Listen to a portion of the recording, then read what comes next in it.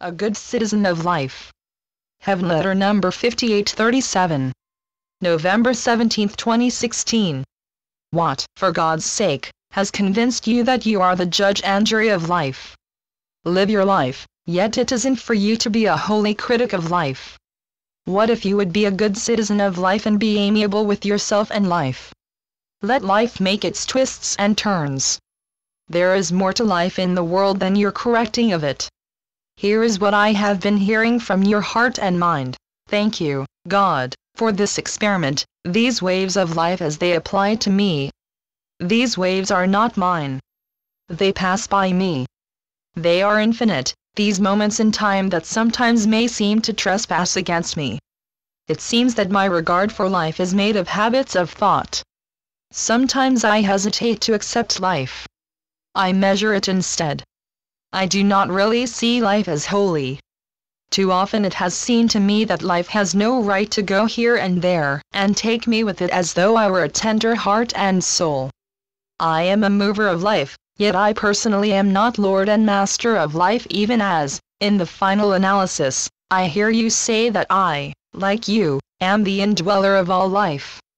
If only I, this individual as I perceive myself, would get past this mirage of time, give myself a stay of execution, as it were. At present, I stomp around, perceiving myself as fragile and vulnerable, when the truth is that nothing untoward can happen to me. I am infinite. I am eternal. All this temporariness I am convinced of affects me as much and as often as I allow it to. It is a theory I carry with me, when, as pure being, I carry nothing with me. I have no possessions. Pure being has no possessions. Pure being has no pockets, no perplexity. My pure being is carried by love, and that's what you, God, say I am. It is all. I am instant love. I am perpetuity of love. I am nothing less, and there is nothing more than the infinity and eternity that you assign to me as my very essence. As your gift you give to me, I may seem wrapped up in varied wrappings, yet you are the gift you give to me. I may seem awry, yet I am not awry. I am dedicated to you, the God of oneness. I may seem to depart, yet departure from you does not exist. Your hand is sturdy in my heart, no matter how I may say otherwise. There is no otherwise. There never was.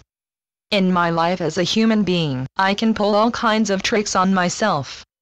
Tricks are tricks, and do not really mean anything.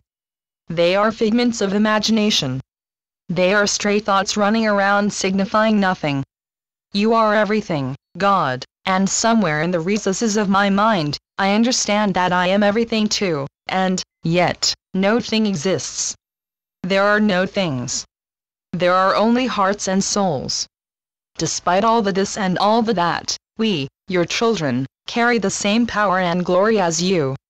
This seems impossible, for my mind says this can't be, while your heart inside me tells me it can only be. Yet, I faintly grasp that nothing is otherwise. There is no otherwise. Otherwise has been only a play on the stage. A play may seem true, yet it is a production called a play, and appears on the stage.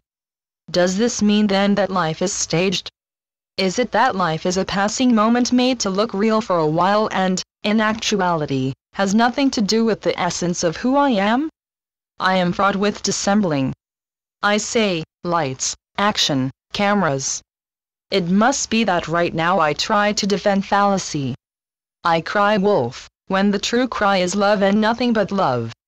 I try telling my made up stories in many versions. Every version is a lifetime.